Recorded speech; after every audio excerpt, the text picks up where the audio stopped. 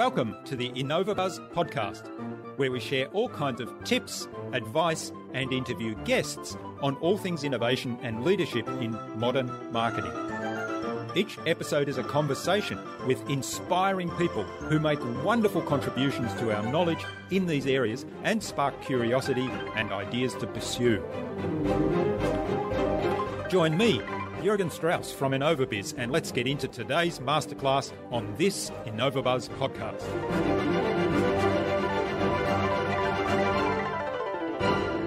Your job online or in a lot of ways actually in selling in general is really to disrupt someone's daily patterns or get them out of their their sequence of, of life and it's, and it's you know how can you come in and stand out from all the other noise that, that people are getting hit with with advertisements cold calls cold emails uh, everyday thing chores they have to do in life how, how are you disrupting that how are you doing something outside of the norm that other people are not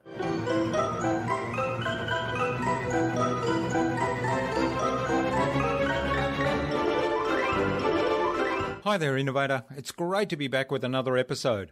I hope you've had an awesome week so far. I trust too that you enjoyed my recent conversations with Chris Jankulovski of Remote Staff and with J. Scott Christensen, expert about all things artificial intelligence and machine learning. I'm really excited today to have on the InnovaBuzz podcast as my guest Anthony Sarandrea, founder of SiteFlood. He's helping countless companies across the world grow their business through a wide array of innovative digital marketing methods. He runs a profitable portfolio of websites ranging from commerce to content blogs, and his award winning company SiteFlood works with businesses of any scope and any budget to find the most efficient way to grow their business through a variety of means. A quick promotional message from our sponsor, that's InnovaBiz, where we help coaches and consultants build professional credibility, engage their target audience, and connect with their ideal client. That requires absolute clarity about who your ideal clients are and how you can help them. To help you get that clarity about your ideal client, take a look at our Marketing Master mini class, where in less than 30 minutes, you'll gain absolute clarity on your ideal client and how you can communicate with them to build and strengthen an engaging, enduring relationship. Access the Marketing Master mini class at innovabiz.co forward slash marketing master. It's completely free and accessible without even giving away your email. In our discussion today, Anthony talked to me about hiring for character over skill set. He explained how he finds perspective and gratitude from his philanthropic work, and he also advised that we all should get really comfortable with failure, learning from it, and building resilience to bounce back. Without further ado, then, let's fly into the hive and get the buzz from Anthony Sarandrea.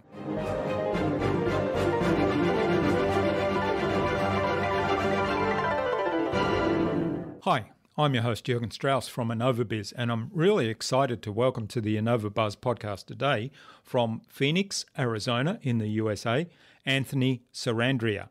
He's the founder of SiteFlood. He's an entrepreneur, a keynote speaker, and a philanthropist. Welcome to the InnovaBuzz podcast, Anthony. It's a great privilege to have you as my guest. thanks for having me brother i'm excited to be here Now, you're known as one of the top customer generators in the world. So, I, I, every business, of course, is really interested in generating customers. So, I'm really looking forward to exploring that. But before we get into all things lead generation, marketing, business growth, and so on, give us a bit of a high level snapshot of your background. How did you get to where you are today? How did you develop that success, grow SiteFlood, and what were some of the key moments in that journey? yeah no th- thanks yeah i uh, you know I, I started in uh, in sales actually in uh, traditional door-to-door sales cold calling sales things like that and uh, uh, stumbled upon this little thing called the internet that allowed me to infinitely reach uh, a number of people uh, without having to geographically or time base be limited to uh, that impact or that sale for me. And that became really addicting to think that i could get in front of you know a million people in eight hours or even in an hour depending on how much you're you know what you're doing online uh, to influence them to actually take an action or buy something or sell or you know pick up the phone and call or sign up for a service or whatever that is. So that's stuck with me even to this day, just that that addiction around that, and uh, it's it's really propelled the, the growth of where we're at today. Just to to you know wrap our heads around that that idea or that theme. So you know, practically what that meant was that went from you know uh, grinding it out, you know, door knocking and cold calling and and doing all that good stuff, all the way up to hiring friends and family to growing a team of 30 plus to you know doing doing six figures a day in sales today. Mm. Yeah, that's that's interesting. So I, I, think you're probably the first person I've spoken to that started out with door to door sales, particularly in, yeah, in the sure. sort of relatively modern era. So did you enjoy that? Uh no, but uh, no. the the experience that came with it, I wouldn't trade it for anything. And I think I yeah I had the foresight enough to know while I was going through it was like this felt like training camp for like football or you know soccer or whatever you know what or basketball you know what like it felt like I was going through training camp. I was really like just busting my my you know what to to really sharpen my chops and learn you know the ins and outs of selling and developing thick skin and you know seeing how do you grab someone's attention in three seconds and gain their trust in five seconds you know to actually listen to what the heck you have to say.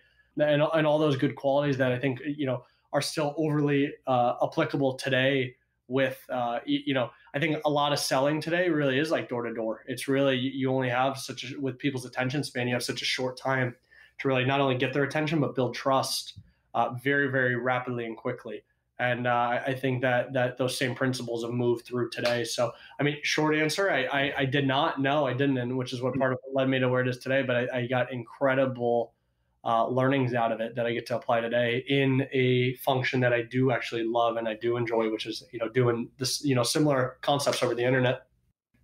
Yeah, yeah. So how how do you apply those um, learnings that you got there, particularly the you know capture the attention in a few seconds and cap and gain trust in in a very short space of time as well onto the internet uh, when you don't have visual contact you're not live at the same time with the person yeah. for sure yeah i think you know it's it's it's similar principles to traditional selling where it's uh, you know whether it's scarcity or whether it's uh, it's uh, building a, a, what's the word i'm looking for not reputation around it um, anyway, so somebody uh, believe in what the heck you're saying. So you know, online it's you know as seen on Forbes, Yahoo, or you know A plus in the BBB. Whereas like door to door, it might be like, hey, I just spoke to Judy next door. Like it's still it's building that that trust hmm. there. Mm. To where very quickly you're like, okay, I'm listening. But you know, today some of the things that work best are, you know, it sounds silly, but it's uh, uh you know, it might be like me like knocking on the screen or something, and and you're you're scrolling through Facebook and you're like, the heck was that? Where like most companies today are running this beautiful reel of like do do do do do, and it comes in their company name and their website, and it's got great music and all that. And it's like that, you know, it might work at a capacity, but when you're trying to drive leads under a certain cost, I would argue it's infinitely more cost effective to do something like the, the knock on here or something where they curse within the first you know three seconds or maybe they're you know they're they're taking uh, uh, you know cash and they're waving it in your face where all of a sudden you're scrolling and you're like what the heck, you know, things like that that that are really like you know might might be similar to you know when you're in the middle of a store if you yelled help or if you yell you know everybody looks you know they're like what mm. uh, things like that is it's like really your your job online or in a lot of ways actually in selling in general is really to disrupt someone's daily patterns or get them out of their their sequence of, of life and it's, and it's you know how can you come in and stand out from all the other noise that that people are getting hit with with advertisements cold calls cold emails uh, everyday thing chores they have to do in life. How, how are you disrupting that? How are you doing something outside of the norm that other people are not? Yeah, yeah, that's that's a really interesting take on it, and certainly you're right. There's so much noise on the internet these days, and you get bombarded by all kinds of things. So we get, uh, I guess, we all develop a bit of a filter that says I'm just going to ignore that while I'm scrolling sure. through my feed and and looking at what my friends are doing or whatever it might be. So yeah, so breaking that pattern is is important. Now, how do you how do you do that in a way that you're actually reaching the right audience? So you're not it's not like I call it spam attention, where you, sure. interrupt everybody and and you probably antagonize a whole lot of people that don't need or are not the right potential clients for your product or service. How do you focus that on the right people? Yeah, great question. So I think a lot of it is if we're talking online, it's the audience set. So it's you know it's and we can dive into that. Is how can we you know drill down to make sure that the people you're actually getting in front of are those right customers and those are lookalike audiences or and I'll dive into that in a second. But really to answer your question, I want to grab everyone's attention and then I want to filter them from there. So I want to mm-hmm. Hey, uh, are you a uh, you know 50 year old uh, male from uh, you, you, know, uh, Arizona that uh, is looking for help to, uh, you know, get rid of balding. Like, so I'm, I'm, I'm essentially I'm grabbing attention of everyone first. It might be every girl yeah. in the world, and then I'm saying, "Hey, are you a man?" They're falling off. Hey, are you, uh, you know, 50 plus falling off? Hey, are you looking for hair loss? They're falling off. But the point is, I got this net to now where I can trim. Whereas a lot of people start here, and then they're like, "How do I get all this attention?" It's like Hmm. really your pool is this big and you're only grabbing that much that much of that pool because you only you only you first looked to drill down and then you look to get attention versus get attention and then drill down again i say that with a semi grain of salt but overall like I, I, would say grab attention and then drill down from there is especially how a lot of times a lot of a lot of these especially if we're talking about the internet how a lot of things get charged it's on a cost per click basis. So it's only when somebody's actually taking action on your ad or they're actually going to your website. So you're essentially uh, and it's baked into the costing model but you're essentially getting those that front end advertisement for free in a lot of ways if you want to look at it like that a facebook ad or whatever that is like that view or that ad copy or that messaging is really for free it's when they actually click through to your website mm. that they're being charged through so that, again that, that further enforces the grab attention and then drill down to actually qualify who who the heck it is you want clicking from there.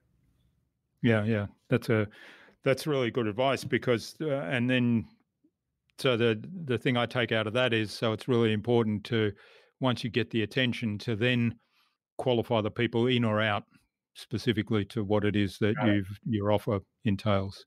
You got it. And a lot of times I would I would uh, say emotionally drilling down too, right? So if I'm going with that that like let's just say we've got a hair growth supplement would say, you know, if you're a 50 year old man that's really just tired of just getting like, uh, you know, looked over by women because you, they don't think that your hair like it means that you're you're good in bed. You know, like boom, that's mm. like a very emotional drive down of like who is the person I want to be talking to. Like I want the guy that that triggers. Like I don't just want the 50 year old man with hair loss that's like poking around for it. Like I want the guy who's like sexually frustrated because he's not getting the girls that he wants. You know what I mean? Who who yeah, oh yeah, yeah he you know he he thinks it could be because of his hair loss. So um, I, would say that drill down to focusing on the emotional, psychological component around that, outside of just the lo- logical, is equally as impactful as that grabbing attention. Yeah. So the person who's feeling the pain already, and if you can tap into that pain straight away and say, "Well, I have I have the solution. I can take that away." You got it. Hmm. Okay. So, well, let's take a step back and tell us what you do today with SiteFlood in particular, but um, we'll sort of go wider than that later on. Sure. Yeah, I've got a, uh, holding company of uh, a bunch of internet properties. So that what that looks like is it's a bunch of websites that really at the end of the day are driving customers. So whether it's for e-commerce products or whether it's to drive a lead or to come in and sign up for a service or to buy a book or an ebook or something like that, it's really at the end of the day, the core of our of our portfolio is attracting customers online. Uh, and actually, as of really last 12 months, it's, it's just driving customers in general. We've gotten a lot more traditional advertising, direct mail, TV, things like that. But really, we're a marketing company that knows how to market specific products and services that we now have moved up the value chain and owned. Where uh, you know, years and years ago, we were just a marketing company, and then people would hire us on to grow their business. Now we've essentially hired ourselves on to grow our own segments of the business, things like that. So uh, that, that's really uh, our, our major focus today. Is isn't much different than day one, which is really just driving customers. Hmm. And how long has SiteFlood been in operation? Uh, I want to say about it's been about eight years now uh, since hmm. since I started it, and a lot of it was you know it, it, me out of uh, you know me consulting or, or things like that and and you know now i feel like we have become a lot more robust of a team with an org chart and and uh, you know growing you know month by month on team size and and you know, overall size of the portfolio and all that good stuff but it's come a long way over the years. Yeah. And how big's the team uh, i think there's about 35 of us today uh, roughly give or take a few people hmm. and how did you go about managing that growth over that fairly short space of time, really.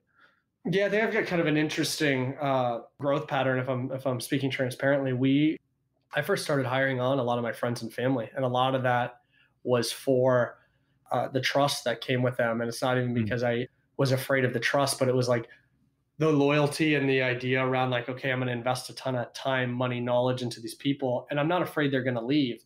And they very well could, and they could have.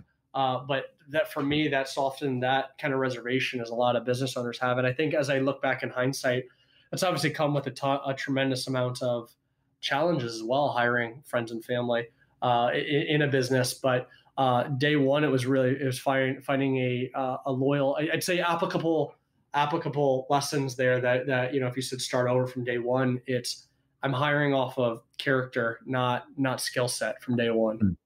And a lot of that was because of the size of the business and where we started.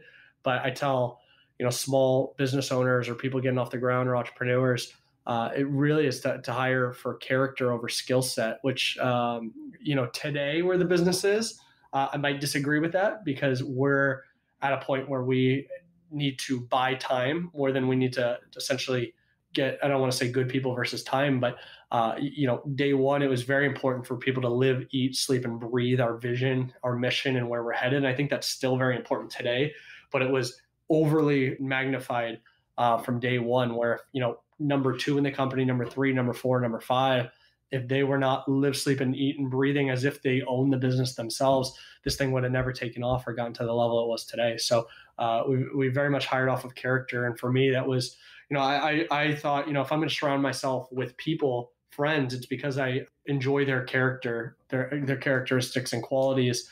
Uh, so why wouldn't I want that in business as well too? And a lot of the skills came with that very quickly because they were fast learners, they had low egos, uh, things like things like that. They had high risk risk tolerances, just like me. Um, so a lot of those skill sets are, that I plugged them in to do rapidly came quickly to the point where they started surpassing those that have been doing it for three, five, ten years.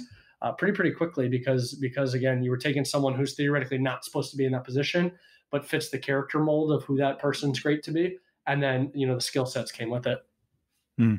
Yeah, well, there's a really important point there, I think, and and also, you know, you talked about vision and mission. So I, I know that from what I've read online that you've got a very clear vision and mission, and and you actually stated on your website. So having people that share that vision and mission and long term direction, and also are a really good cultural fit. So you talked about the being lifelong learners and and the risk profile. So they're all cultural things that that are really important. And then of course the learning aspect means that people, as long as they've got, you know, a bit of uh, basic skills, then they're, they're sure. capable of learning new things. Of course, yeah, and I think to your point, the the the cores there is what I'm trying to get at more more than anything. Mm. I'm not saying you know pull some guy off the street and you get you know you can make him into a you know you know the top sales rep, but I'm just saying you don't need to go get the top sales rep, at least early on, from another company that has a $250,000 salary and mm. plug them in in order for you to be successful. You can find someone that has shares the same characteristics of the competitor's 250K guy who, you know, you could pay at a discount, uh, who theoretically has the opportunity to be better than that, that competitor's top, top sales rep. And I, I think uh, I'm living proof of that. I've got to see that firsthand with, uh, you know, a number, a number of different, different team members where, um, you know, I, I didn't have the luxury that we have today to go get, you know, uh, poach the top guy from this company over here. But I also didn't fall into the fallacy that because I can't do that, my company will never be at that size. I, I, I, knew I had to find, you know, well, what what is not only the next best thing, but what's theoretically could be a better thing long term, uh, and and you know that core and that that uh, cultural and that characteristic fits, uh, I think, have proven out long term to be better than the competitors. You know, top sales guy, if we're using that analogy. Hmm. Okay, so what kind of customers do you work with? Uh, yeah, so today we we majority of what we drive is um, individuals looking for help with their finances. So. Uh, it's a lot of servicing centers and servicing agencies that can refinance on someone's home, or they can help get them uh, health health insurance that's more affordable for them, or something along that is is really where we we've kind of focused and narrowed our our efforts are, are really on helping the everyday, uh, not just American now, I guess I guess uh, person worldwide at this point. How can we help them uh, save more of their paycheck or put more money in their pockets um, through different uh, services that companies offer? And uh, looking at us as a vital growth engine for you know some Fortune 5 500 companies allowed us to focus on what we're great at and allowed them to focus on what they're great at, which is providing great services or products. And we've been great at, uh, you know, making that initial introduction. Mm, okay. And was that a conscious decision from the beginning, or did that kind of evolve as you grew? Definitely molded over time. I mean, to to start, you know, my you know my dream was always to uh, actually be a personal trainer. I wanted to help people lose weight and realize their you know health health potential and live live good, clean, healthy living and lives. And I started realizing that a lot of that was uh, exciting in theory, but practicality it wasn't possible because their finances didn't support that uh, ability mm-hmm. to live. They had to work two jobs. Mm-hmm.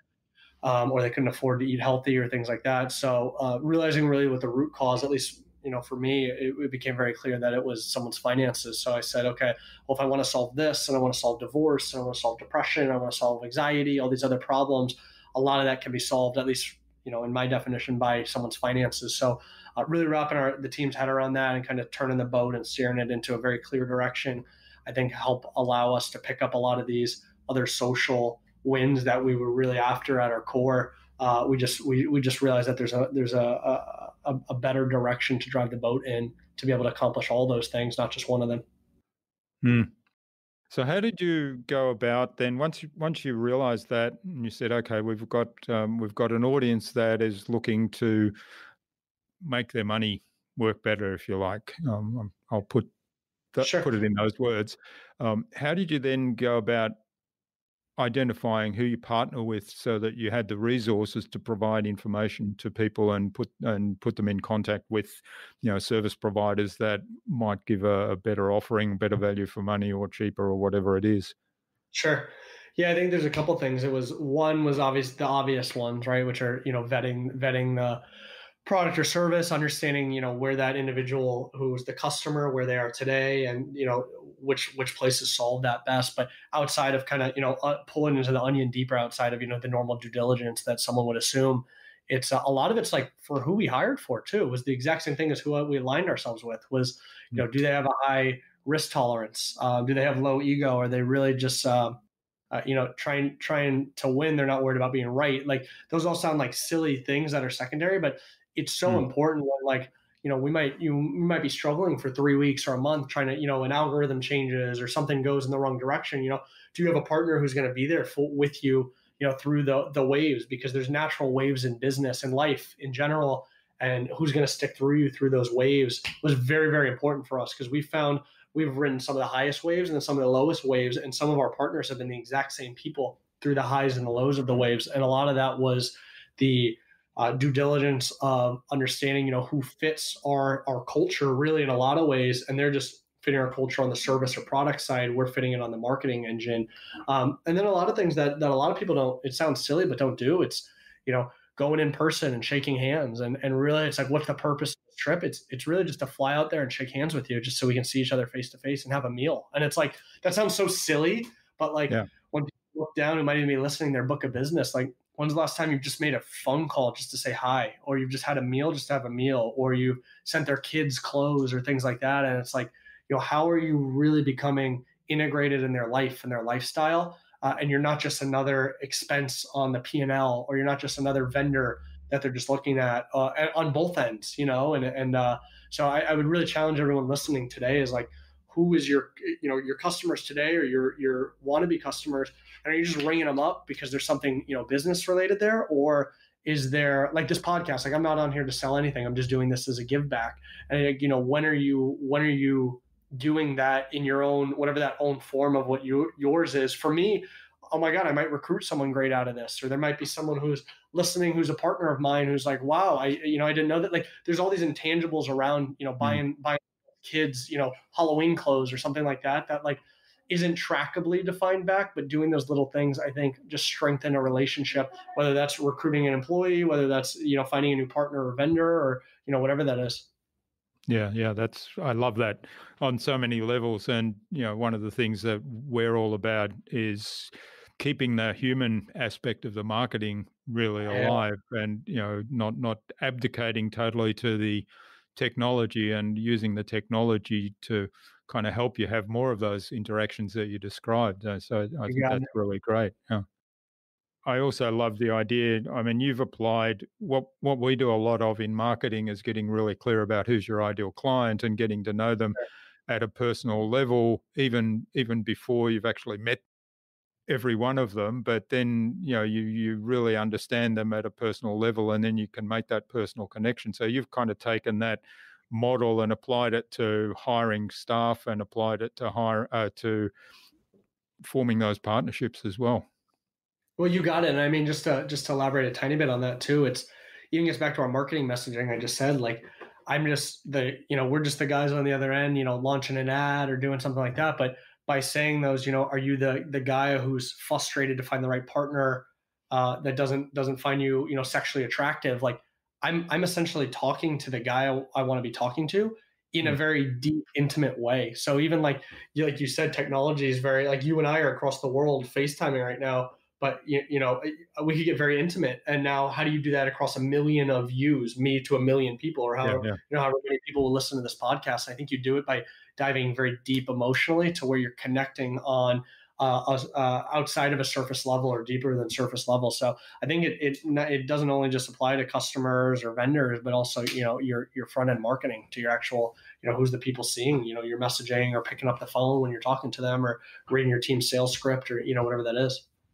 Yeah, yeah, that's wonderful advice, and I love it on so many levels. As I said, um, now one of the things that you're very strong on is giving back and philanthropy. So tell us a little bit. You you've kind of alluded to a couple of things there that you do at a small level, but I know you do a lot of bigger things. So sure. why is that important, first of all, and and just tell us a little bit more about it. yeah, I think the um, importance around it is I always joke like those like it's really it's you know I probably spend five hours a week on something philanthropic, which again doesn't sound anything crazy, but uh, uh, relatively speaking, I think you know makes up the over you know ten percent of my time roughly on on my or my work time, I would say. Um, and I think those five hours are probably the most the highest ROI time that I spend. And a lot of people are probably listening and they're like, you don't make a dollar out of that, but I, I actually think I do get the highest ROI out of it. And the reason being is is a lot of it comes down to uh, giving me the appropriate perspective or uh, level head or uh, relative field that, that I can now go apply for the other, you know, 45 hours of the work week or the other 100 plus hours of my life that now uh, without that, it's very easy to bring an ego into work and start making ego decisions, or it's very easy to not have perspective to be able to have that same empathy with your customers, some of the stuff we were talking about, things like that. So, um, and if nothing else, you, you get, I think you hit a certain level that when when you start you know um, realizing your financial goals you start start hitting a diminishing returns i think it's like a there's like a, a ton of studies around like after you make 70 dollars 70000 us like happiness levels kind of level off or even decline yeah. and I think, I think a lot of it is because you know an extra dollar for me an extra ten dollars thousand ten thousand hundred thousand doesn't move the needle as far um, uh, for myself as uh, emotionally at least as it would or excitement level as as you know seeing someone who is you know a 20 year old kid who's saying you know I'm, I'm really starting to trying to start a business because my mom just got diagnosed with cancer and i'm trying to uh, create something to help those you know cure cancer or mm. to be able to make enough impact that i can afford her medical bills or help her relieve her, her medical debt over the next few years and it's like i'm literally getting the chills repeating that that true story because it's like I'm complaining because our blank blank blank dropped, or I have to hire someone for this, or mm. we had a mess up or spill. It's like this kid is literally trying to like help his mom's medical debt. Like it's it's an incredibly impactful. So uh, I mean, I, I guess I'll pause there. Anyone who I'd say it's the number one thing for people in general, but specifically entrepreneurs or even salespeople, you've got a very tremendous gift of being able to inspire and help those and um, I, I, I, would argue, you know, nine out of ten people on this listening even probably are not are not spreading their their seed or their gift as much as they should be. Mm, yeah, that's uh, a great call to action, and uh, love the story. And and it's not, I mean, it's not necessarily just money, is it? It's like time or being being there, sharing experiences, helping yeah. out with expertise.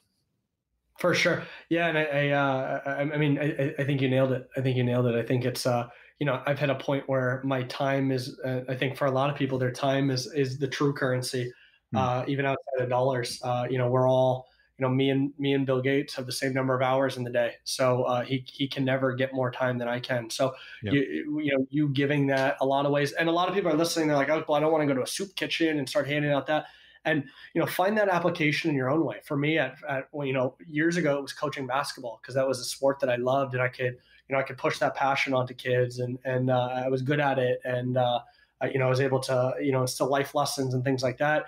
Today it's it's you know helping young entrepreneurs you know realize their their business potential things like that. So um, for those listening it doesn't just giving back doesn't necessarily mean i don't mean you know you need to go hand out blankets to homeless people although that's great. And if that inspires you that's what you do. And if that's easy it's awesome uh, do it, do something.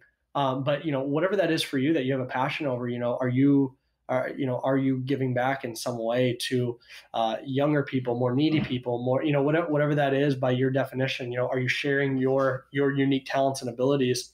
Uh, are you sharing those today? So, hmm, great. And on a totally different topic, I uh, read recently that you've um, embarked on a new challenge. So you're kind of taking on something completely different. I'm listening. what, what, okay. what, was it? I was reading about your acting acting debut. Oh, Yeah, yeah, yeah. I uh, actually funny funny story about that. So I've got uh, a lot of internet friends who said, "I bet you I can make something go viral that you're gonna be you're becoming a uh, uh, an actor in Bollywood." And I said, "I bet you can't." And then next thing I know, I was on uh, I think I was on Yahoo's uh, uh, like uh, entrepreneur, like uh, not necessarily cover page, but I was getting a bunch of hits. So that's hilarious. That's actually a uh, a funny story a friend of mine pranked me with. oh, okay. Which is good. Oh. I thought there was a story behind that, like you know, you were no, I, kind of I, needing, I, uh, needing to stretch yourself in a different area, and maybe one day. I'm uh, I'm really enjoying the shit out of what I do today. I'm really enjoying my, my, work. I'm enjoying the people around me and growing what we're doing, and then you know a lot of philanthropic stuff that I mentioned. So I'm enjoying that today. Maybe one day I'll I'll I'll, uh, I'll, I'll, make a more uh, bigger steer, but those feel like small little pivots today of what I'm doing. But yeah, that's a funny one. That's good. okay, well, the, the um, yeah, it certainly did go a little bit viral, and it came up in my research, and I thought, oh, that's fascinating. I love that. That's funny. all right. Well, this has been absolutely fabulous, Anthony. I really appreciate you sharing all these things with us. Um, now, I, I, think it's a good point to move on to the Buzz, which is our innovation round, and it's designed to help our audience who are primarily innovators and leaders in their field with some tips from your experience. So, I've got five questions. Hopefully, you'll give us uh, really insightful answers and inspire the listener to go and do something awesome today as a result. Let's. So, what, what do you think is the number one thing anyone needs to do to be more innovative?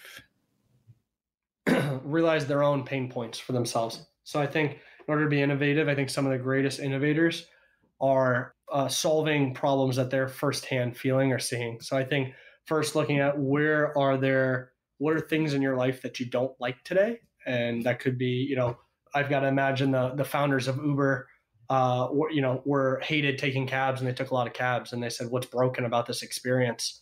And, and then they created something around that. I don't know if that's a fact or not, but I will say that I find a lot of entrepreneurs or some of the best businesses created solutions to problems they found firsthand. So uh, if you're going to uh, find uh, first steps, I think in finding innovation is solving problems for yourself. Mm, yeah, that's I, I love that. Um, and a lot of um, guests that we've had on the show have in fact build a business around something that they they built for themselves because they found that need or pain that they had and they solved that for themselves and then other people started saying well you know i've got the same issue can you help me? And and all of a sudden it was a business yeah. Yep 100% mm. yeah and and in fact you know we're doing a little bit of that ourselves so we've been running this podcast for over five years now. We've got great systems in processes in place and a lot of people are asking us well you know how, how can you help me with the podcast. So all of a sudden, there's a, a business opportunity there. There absolutely is. You got it. I love that. Hmm. All right. Now, what's the best thing you've done to develop new ideas? Mm, the best thing I've developed to uh, develop new ideas is, I think early on I had this um, uh, idea that I needed to, you know, how do you create the next Apple or how do you create the next Uber or Facebook? And it's like I, I was surrounded with this idea of innovation and a term that most people didn't really bring to me until you know uh, later years of my life were uh, this this term of, of, being a disruptor. And uh, literally, I, I, remember the sentence and said, "Innovators get slaughtered, um, disruptors uh, conquer, disruptors win." And I was like, what does that mean? And, uh, you know, and I, I digested it and they said, you know, innovators spend thousands, if not hundreds of thousands of hours and millions of dollars to prove out a concept where someone can come along and do it 1% better. And customers are theoretically going to go to that guy or girl because they have a 1% better solution than the first person to market. Although there's a massive value to being first to market, there's also a bigger value, I'd argue, to having a better solution or product. Um, and, and I think a lot of times this person usually ends up winning out. So for me, it was this idea of like, how can I take something working and make it 1% better? It was like, even getting back to that Apple example, realizing like they didn't invent the cell phone. They mm just, and they didn't invent the computer. They just kind of pushed it together. It's like even iTunes was created out of Napster. And Napster went, got sued and went bankrupt and got in all this trouble. Meanwhile, iTunes just came along was like peer to peer sharing of music. Cool. Let's do it um, and it blew up. And then iTunes, but you know, so looking at a lot of like the greatest things today, even again that Uber example, they didn't invent the cab. They invent, you know, they, they said, how can we make this one mm. better than the cab are doing today? And so for me, my my greatest, you know, quote unquote innovations or successes have actually been disruption and disruptors. And I'd argue most companies that people literally Apple gets gets gets coined, you know, the the innovative company. I would argue they're not innovative. I'd argue they're they're disruptors, and they're they're one of the best disruptors at that. Hmm. Yeah, that, that's an interesting take on that, and and I know, you know, thinking back to my corporate career where I had the experience of starting off in the photographic industry, and as a hobby photographer, that was wonderful. But of course, that was in the time when digital photography was kind of born as a mainstream consumer product, and all of a sudden things changed very, very rapidly. So that was quite a, a disruption, and and in a way, it was what you said, the the, the digital people didn't invent photography, but they came along and said, well, how can we make this better? How can we make it more convenient for people? How can we make it um, uh, quicker? I mean, there's a whole lot of things there. Yep, 100%. Hmm. All right. Do you have a favorite resource that you use a lot? Uh, I would say a, a clarity.fm is the name of the website. Um, again, clarity.fm. And really, what it is, it's a site where you can pay uh, subject matter experts for their time. So you can pay them a, a dollar for per minute, two dollars per minute, whatever it is, uh, and you can find some of the most world class people uh, in in whatever uh, industry or space you're trying to learn more about to actually get on the phone with you. And these are people that you theoretically would not be able to reach or grab their ear for. And it's it's really a platform that allows them to uh, sell their time for you in a mentor mentee role. Um, so you get some access to some really high level people. Mark Cuban at one point was on the platform. So literally you could pay, I mean, it was expensive. I want to say 200, 500 bucks a minute to talk to him, whatever it is, but that's not, that's not normal. But point being is like someone like Mark Cuban, like shoot, I would I would take out a I would take out a, a, loan if I didn't have the money to talk to Mark Cuban for you know for ten grand to talk to him for ten minutes. That you know that you'll make that back a million fold ideally. You know over over your lifetime. You know de- depending on how you apply it. So anyway, um, yeah, that's uh, Clarity.fm is a solution that I've enjoyed for the last few years that I think is super underground and underrated. So I have mm-hmm. no affiliation to them other than I love the the product. Yeah. Yeah. Okay. Well, I'll have to have a look at that. I wasn't aware of that one. So thanks for that tip. Sure. Now, what's the best way to keep a project on track? Best way to keep a project on track, in my opinion, is holding people accountable, which I know is not a, a sexy answer, but it's um, it's setting metrics in place to I- ensure you're guiding the project in the right area. So whether that's deadlines, whether that's uh, time tracking to make sure you're actually spending the time on it whether that's again a project management system if that's putting a manager in place that's you know you're responsible for this. And uh, a lot of times it's hey you know uh, jeff is responsible to make sure that xyz part of the project gets done. Jerry's responsible for this. So it's assigned responsibility and then i find things get done because a lot of times a collaborative team thing is great but you get 10 people in a room and you're like okay let's um, draw up Q1's, you know, marketing plan. And it's like, uh, but if it's like, hey, uh, Jeff, you are responsible for delivering this at the end of the meeting. Jerry, you're responsible for delivering the creative. You're responsible for de- delivering the audience. Like all of a sudden now people have a lot more niche direction on what they need to get done. And you are tied responsible. And then when you review, it's like, okay, Jeff, Jerry, and Jane got their stuff done. Jack, you dropped the ball. What happened? It also allows you to identify where there's gaps in the project. It's not just a win or fail of a project. It's like, here's the things that won in the project, here's the things that's lost. Do we need to fix these or replace these broken ones? How do we do more of the good? How do we apply this? Should we have someone else owning these next time? So, uh, short answer: compartmentalizing the project, I think, is is the best way to keep it on track. Mm-hmm. Yeah, that's a good outline, and I, th- I think you know what what you were talking about earlier around bringing people on board that are a really good cultural fit and having the right attitude. I think that that's important in that as well because you can put those metrics in place, but the and the accountability. But with uh, if people have the right attitude, then that works really well. For sure. Hmm. What's the number one thing you think anyone can do to differentiate themselves? Um, get addicted to failure. I think uh, being addicted to failure I think we're in such a society where you see someone driving a Lamborghini um, and you're like sitting on your Instagram feed and you're like, why don't I have that? And uh, we become such a culture of success and you're defined by success and you're a winner by success and you feel confidence with success. I think when you find confidence in failing, like when you're you're failing over and over again, you're like I'm getting up and doing it again the next day.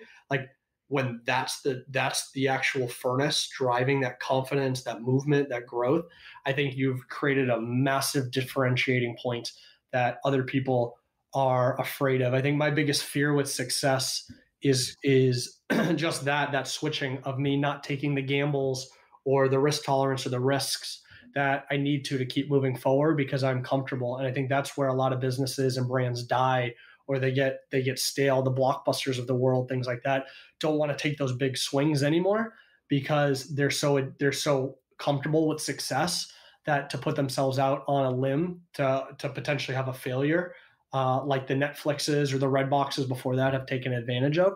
Uh, eventually, the blockbusters die and they go out of business and they're gone.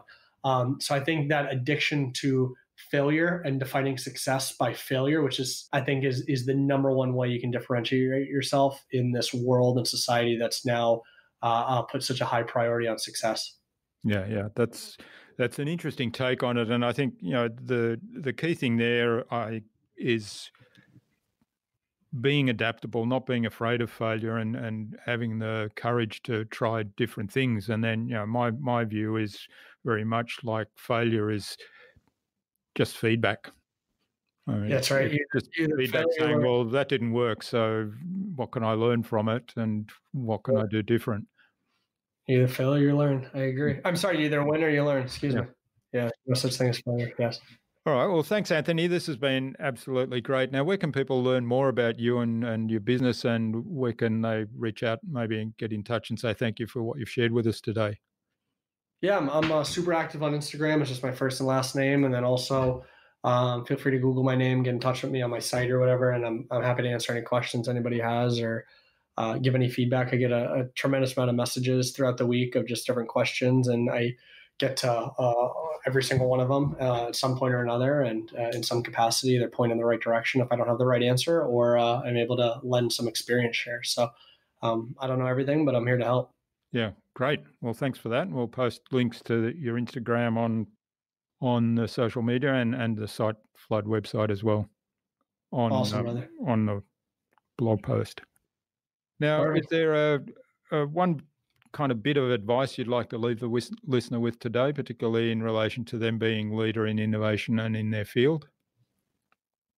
Um, I think really just re honing in on the the failure, the failure, and I guess just to take to the next level, it's uh, fail fast. So um, for me, the quicker I can fail, the better it is. So what I mean by that is like a lot of times people will go through and they'll go uh, get a supplier and then they'll go uh, boom, boom, boom, and then all of a sudden they'll have the product and it's like they don't want anyone to see it. They're like, don't look, don't look, don't look, and mm-hmm. then they're like, I now have come out with the perfect thing, and it's two years later, and like the only one who said they liked it's their mom. Um, versus, versus, like one my my favorite story, and I'll make this quick, is the uh, creator of the Palm Pilot has a story where he he didn't go out and source someone to create the Palm Pilot or do this or do that or blah blah. blah. He literally carried a block of wood on him at all times, and he would um, he'd pull out this piece of wood anytime he found a connection. So you and I would meet at the store and be like, "Oh, let me get your info," and he'd pull out a piece of block of wood literally out of his pocket, and he'd like this, and he'd put it back in. And then when he needed, he's like, "Oh, I want to meet up with someone, you know, I'd pull it out. And he was he was essentially failing fast. He was saying, Would I carry this block of wood? Because it sounds so silly to carry this thing on us all day Yeah, long. yeah, yeah. But so like, you know, conceptually is like, would I carry an object on me? Now most of us look at that as our third arm. It's like it's it's it's you know, like it's literally, literally I just grabbed it. It was a half a foot from me. Um, but so he was proving that out. So that applying that same to your business, where most people go source a phone manufacturer and then they make sure it's perfect, then they debug the software, and then they don't tell anyone or they don't show anyone because they're afraid they're going to think it's an ugly child versus like, or they'll only ask their moms or their peers or their customers. You know, it's like how can I get negative feedback very very quickly so I can innovate uh, on what I'm doing and and take that same Palm Pilot, that block of wood example. How can you apply that to what you're trying to innovate on today uh, to feel you know very cheaply, very quickly, very fast, get learnings and say, oh, it's too big, or I would use it, or I wouldn't use it and then and then you know push forward, but always be seeking out those those, those fast fails, um, and then innovating off them. Ideally, not uh, you know using them as learnings, not just seeking out the people that are validating what you're doing, because those are dangerous when you surround yourself with yes men and uh, and uh, just validating everything you're saying. I want to be even if I had even if I was Apple, I bet you Apple, you know, a billion dollar company, s- still purposely seeks out the the naysayers, the people that hate them. I bet you they spend more time on the Android users Hmm. saying, "What the hell do you hate about Apple?" Uh, if not, sorry, I shouldn't say as much, if not more, as they do as their current customers saying, "What do you love about us?" I, I guarantee the the Android feedback is is more important for them. Yeah. The negative feedback. Yeah, I love that Palm Pilot story, and and you're right about yeah getting getting feedback from people that aren't necessarily your fans because that's an opportunity to consider doing something different. That doesn't mean to say you you might you will, but you, it's input that is well worth considering. So thanks for that. Hundred percent. Yeah. Your competitors' negative reviews are the best place to start. I'd say too. If you're a business owner, look at your competitors' Yelp, their BBB, what, whatever it is. Go start reading all the negatives and the positives, and start seeing what people are actually saying. You know uh, that they hate or they love about it, and then really that's your answer. Oh, what do I need to innovate on? I need to find a find a a, a, a circle, uh, you know, a statistically significant amount of negative reviews on. You know, they don't ship fast enough, or they don't do this. Like a lot of times people think they need to create the you know the, the self-driving car like Hmm. sometimes you just need to pick up the phone faster or you just need to have an extra customer service rep to really be an innovator Yeah, yeah. Yeah, that's wonderful advice, and that that is a great source of of uh, opportunity there. Looking at those reviews. All right, for sure thanks for that, Anthony. Finally, who would you like me to chat with on a future InnovaBuzz podcast, and why? who would i like you to chat with um probably um i would say someone from a philanthropic background uh judging by your uh you know i think most people probably call it's it's like what does your audience want to hear versus what they should hear or Mhm. need or uh, is is uh I bet you focus a ton on like the me's of the world that are what they want to hear and are probably good for them to hear. But what do they need to hear? What's actually going to add the most value and help them? I would, I would put the uh, the pill and the peanut butter, like they say for dogs, they or what you know whatever it is. Yeah, you know yeah. they, they mask the medicine in, in a dessert, like uh, maybe sandwich it with a couple couple bangers of you know they're going to love with the Mm. ones that they should hear. And uh, I, I I truly think most people will find the most value out of like I like I get to hear Steve Madden talk about his uh, going to jail and the mindset around going to jail, and like that was the most valuable podcast I've heard in the last twelve months. And like if you just told me, forget his name, Steve Madden, just the fact that you know uh, the mindset of someone who was going to jail, like that, I've applied in so many different weird ways of my life that I, I would we'd have to talk for another hour to like go through. It's not because I think I'm going to jail, but just because it's like just that thought process of like your life, literally your freedom getting ripped from you and what that looks like. Like I, I got more out of that. Although if you just said, Hey, this guy who went to jail, I'd be like, no, I want to listen to how to grow a team to, Hmm. you know, 200 people at scale, you know, but like that jail podcast, actually, I'm pissed I even said that it was Steve Madden's because you're like, oh, that's why you listen to it. Like it was just going to jail, like, uh, I, I think that'd be great. So anyway, that that's that's who I'd recommend you interview next. Okay, well, we'll take a look at, at that particular one and we'll see who else we might be able to find that fits that mold. I know we've had people on that are kind of in similar areas that have built businesses and then they're focused on phila- philanthropy right now. And we've got a couple of guests coming up that have stories around jail, which is quite interesting. So I'm looking forward to chatting with them. Um, but yeah, so thanks for that. And thanks for Yeah. sharing your time and your insights with us so generously today, Anthony. I really appreciate it. I, I enjoyed this immensely and learned quite a bit also about how you approach things and how you've uh, grown SiteFlood to be very successful and you know rapidly grow over that eight years. So um, I look forward to staying in touch for the future and seeing whether you do actually end up in acting or whether that was a, a hoax that's going nowhere. Um, yeah, so all the best and let's keep in touch. I love it, brother. Thanks for having me. It was a blast. Bye.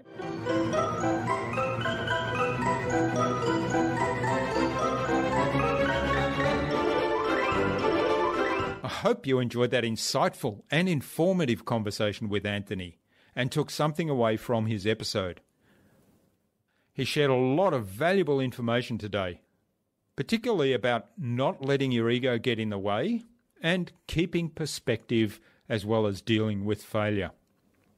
I'd love to know what you took away from Anthony's episode. Leave a comment below the blog post, which you can find at innovabiz.co forward slash Anthony Sarandrea. That is A N T H O N Y S A R A N D R E A all lowercase, or one word, innovabiz.co forward slash Anthony Sarandrea. You'll also find contact information for getting in touch with Anthony there, as well as links to the SiteFlood website, his social media pages, and the other resources we spoke about in today's conversation. Remember to check out our Marketing Master mini class at innovabiz.co forward slash marketing master. It's completely free and accessible without even giving away your email. But most importantly, it will enable you in less than 30 minutes to gain absolute clarity about who your ideal client is and how you can communicate with them to build and strengthen an engaging, enduring relationship. And if you'd like our help to go even deeper into marketing mastery, or our help with producing your very own podcast, even launching your very own podcast if you don't yet have one, then send me an email to jurgen at innovabiz.co and we can set up a quick call to have a short conversation and find out whether we're a good fit for one another. Tune in again to the next episodes of the InnovaBuzz podcast, where we've got some more fantastic guests lined up, including Odette Barry, of Odette and Co., and Michael Van, the author of Buying Out the Boss. Stay connected with us by subscribing to the InnovaBuzz podcast at innovabuzz.com forward slash subscribe. I-N-N-O-V-A-B-U-Z-Z dot com forward slash subscribe. Make sure you never miss another episode. It would also mean a lot to me if you leave us a review because what you think matters. I'd love to hear your thoughts, your ideas, your suggestions, or questions you have, so go ahead and share them in the comments below the blog post for this episode. Until next time, I'm Jurgen Strauss from InnovaBiz. Remember, be awesome and keep innovating.